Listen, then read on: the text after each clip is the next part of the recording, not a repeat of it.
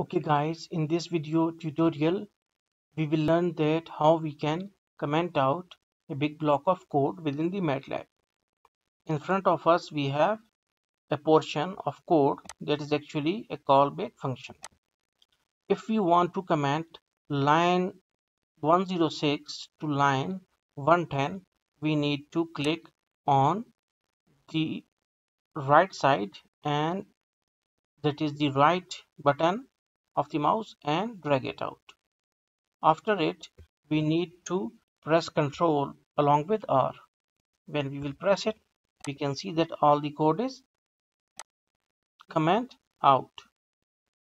So you can uh, comment uh, any even even from one line to some several blocks of code.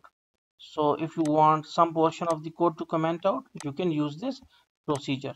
Hopefully you got the concept.